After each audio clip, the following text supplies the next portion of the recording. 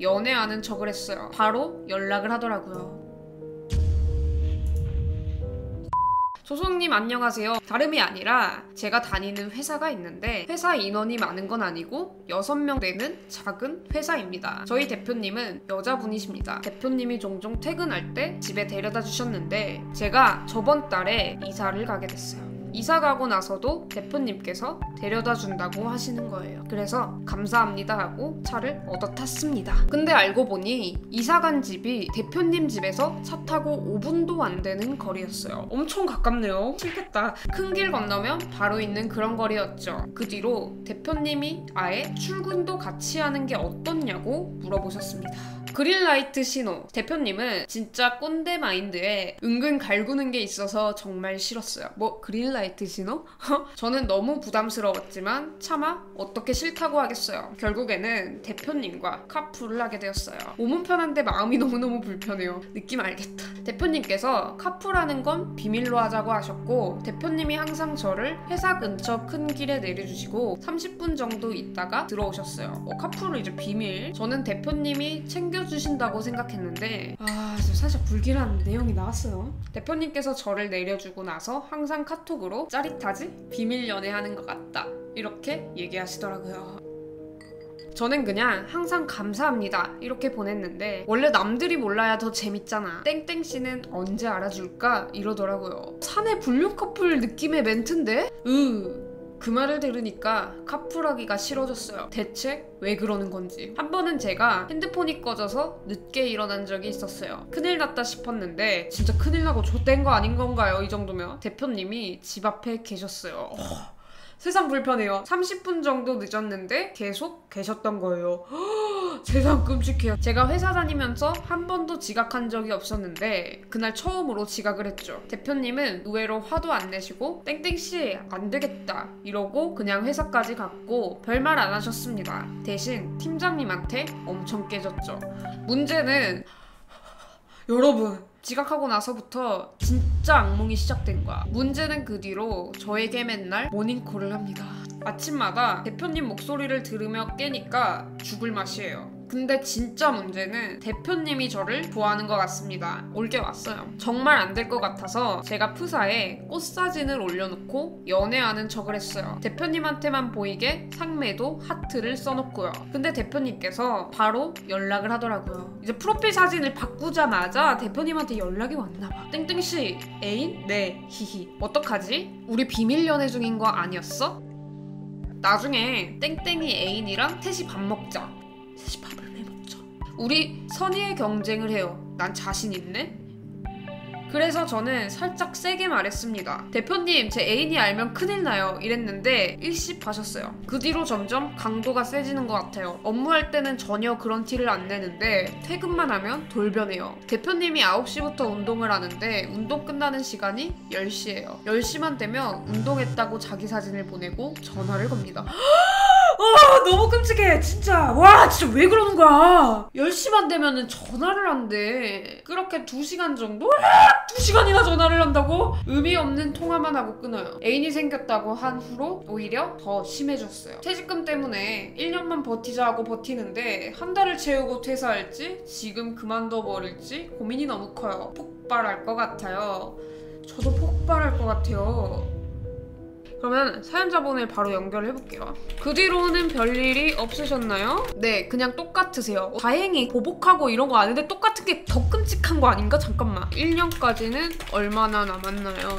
3주 남았어요. 퇴사한다고는 말해놨어요. 퇴사한다고 말한 게 2주 전인데 그 뒤로 지금까지 2주 내내? 어, 2주 내내 뭐! 불길해. 왜 그래요? 그럼 대표님은 대체 몇 살이세요? 아무래도 대표님이다 보니까 약간 나이가 있으실 것 같거든? 왜냐면 꺽쇠꺽쇠 쓴 것도 보면 약간 작세 동년배일 수도 있을 것 같고 전 20대죠. 트라우마 생기겠어요. 나는 이게 사회에 문제도 있다고 봐. 권력과 그런 금전적인 그런 모든 것들이 받쳐지면은 어린애를 만날 수 있을 것이다 하고 약간 들이미는? 근데 제가 만약에 이 입장이라면은 40대를 가본 적은 없지만 그 입장이라면 오히려 좀 어려서 부담스러울 수도 있을 것 같거든요? 근데 그런 게 없나, 부담감이? 어? 3주 버틸 수 있겠어요? 어떤 느낌으로 이 댓글을 쓰셨는지 알겠어. 3주도 솔직히 조금 짧으면 짧지만 또 길면 엄청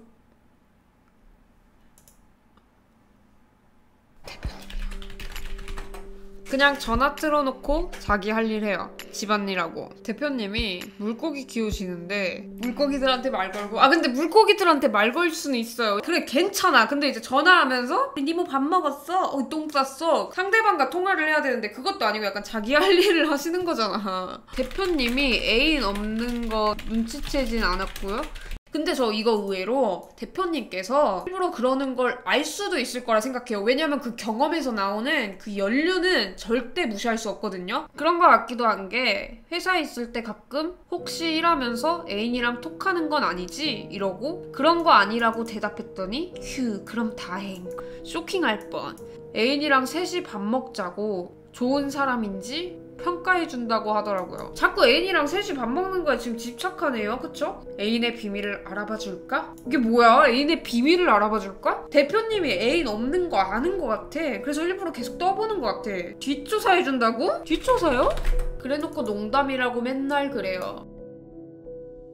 이거 생각보다 위험한 느낌인 게 애인 뒷조사 해준다고? 내 권력을 뭔가 표현하면서 난 뒷조사도 할 수 있는 사람이야. 약간 이거를 농담식으로 말한 느낌도 저는 받아요. 안 그런가요, 여러분? 이 3주라는 남은 기간 동안 더 미친 듯이 직진할 확률이 높다. 최대한 피해가지 않도록 방법을 생각해야겠죠. 일단 카풀을 멀리하고 통화하는 시간을 줄이기. 이게 일단은 최우선일 것 같거든요. 증거도 혹시 모르니까 수집해 두시고요. 가족 집에 가 있는다고 하세요. 괜찮을 것 같아요. 그쵸?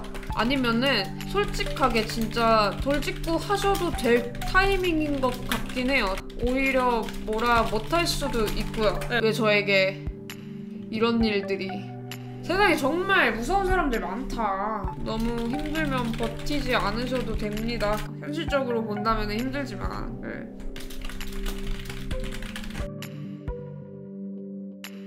사연자분께서 후기 아닌 후기를 남겨주셨어요. 송님, 어제 대표님한테 카풀 안 한다고 말씀드렸어요. 가족 집에 들어가 산다고 말했고요. 그랬더니 대표님이 또 엄청 서운하다고 하셨고 거짓말하는 거 아니냐고 하더라고요. 거짓말이 아니라고 했더니 애인 있는 것도 자기는 못 믿겠대요. 왜 이러는 거야 진짜? 진짜 참다 참다 안 되겠다 싶어서 제가 거짓말이어도 솔직히 대표님이 알 권리는 없지 않냐고 너무하다고 말씀드렸어요. 돌직구를 선택하셨어요. 거의 울면서 말했는데 그제서야 미안하다고 하시더라고요. 그래서 제가 조용히 회사 다니고 싶다고 했어요. 인수인계 끝나고 조용히 퇴사하고 싶다고. 대표님을 너무 존경했었는데 이런 식이면 너무 힘들다고 했더니 충격 먹은 표정이었어요. 그리고 오늘 출근하고는 별일 없었습니다. 카풀도 안 하고 있고 따로 연락 오진 않아요. 어떻게 될진 모르겠지만 조성님께 털어놓길 잘했다고 생각 들어요. 감사합니다. 라고 이제 사연이 왔어요.